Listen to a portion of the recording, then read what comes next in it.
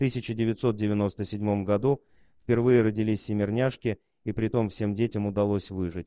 Тогда их маме пришлось немало вытерпеть, как и от тяжелой беременности, так и от продолжительных родов, да еще и общественность высказывала свое недовольство, мол, что за безответственность такая, подвергать детей риску, рожать нездоровое потомство, лучше уж оставила тех детей, что покрепче, да и не мучила остальных. О том, как дальше сложилась жизнь всех семерых детей, в нашей статье. После того, как УЗИ показала, что у беременной Бобби Макой, Бобби МС Коги, будут семеро детей, и ее мужу Кенни предложили не оставлять всех детей, потому что шансы выжить у них были малы. От этой идеи оба супруга пришли в ужас. Они сказали, что готовы рискнуть и пусть все будет в руках Божьих. На тот момент это было действительно рискованное решение, и на пару посыпались обвинения. Критика достигла апогея, когда у Бобби начались схватки на 9 недель раньше срока, и в то же время вся Америка затаила дыхание в ожидании. Бобби доставили в больницу 19 ноября 1997 года, и именно тогда и родились Кенни, Келси, Натали, Брэндон, Алексис, Натан и Джайль, четыре мальчика и три девочки. Врачи очень сильно беспокоились, что не всех детей удастся спасти, и даже если дети родятся живыми, врачи предсказывали, что шансы на выживание у них были крайне малы. Тем не менее, все малыши выжили не только первые дни после родов, они успешно прожили вот уже почти 20 лет. Каждый год 19 ноября для этой семьи – это огромный праздник. А как иначе, ведь именинников сразу семеро. Время так быстро летит, говорит мама. Так много всего произошло за это время.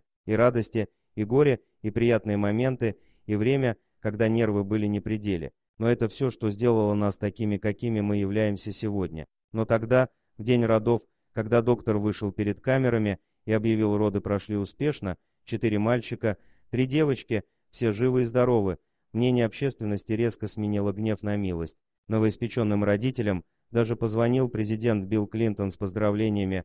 Опра поздравила семью с таким значительным пополнением в своем вечернем шоу, а уж сколько было цветов и поздравлений от незнакомых людей, трудно даже подсчитать. Среди подарков был также дом, Нимивен, запасы еды, подгузники на первые два года и полная оплата учебы в колледже и Государственном университете штата Айова. И надо признать, все эти подарки были отнюдь не лишними. Малыши выпивали каждый день 42 бутылочки питания и использовали 52 подгузника.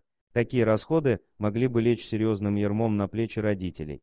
Впрочем, со временем, когда детишки подросли и внимание прессы к ним погасло, Макаям все же пришлось ощутить все финансовые тяготы обеспечения достойной жизни семерым детям одновременно. К счастью, по крайней мере, бытовые вопросы родителям удалось более-менее уладить, дети росли послушными, способными и благодарными, так что уборка дома, подготовка домашних заданий, готовка еды, стирка и прочие подобные моменты быта решались совместными усилиями. Спустя 20 лет после рождения семерняшек семья Макаев так и продолжает жить в том же доме, который им тогда подарили, и пользоваться все тем же мини-веном. Возможно, этот дом по американским меркам довольно скромный, да и 20-летний автомобиль не самый лучший для такой семьи, особенно учитывая, как подросли дети, но родители предпочитают вкладывать деньги в более насущные вещи.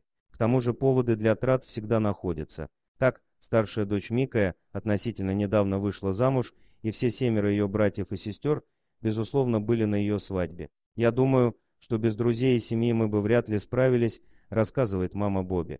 Каждый раз, когда нам нужна была помощь, кто-то вызывался помочь нам. Это просто невероятная поддержка. Это как раз тот камень, который позволяет всем нам крепко стоять на земле. С такой поддержкой, кажется, у семьи не могло быть никаких проблем. Однако Макаям пришлось столкнуться с проблемами, в которых вряд ли кто мог помочь, кроме врачей. Дело в том, что двое из детишек, Алексис и Натан, родились с церебральным параличом. Им обоим пришлось несколько раз ложиться на операцию.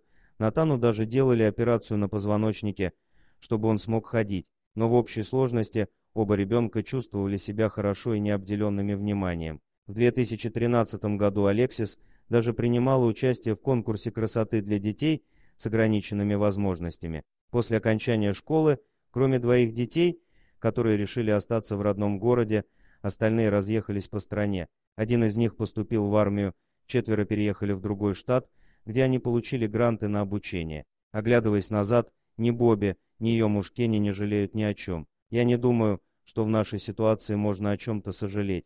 Есть только радость, гордость и счастье. Интересна также история Антона Кудрявцева из Омска.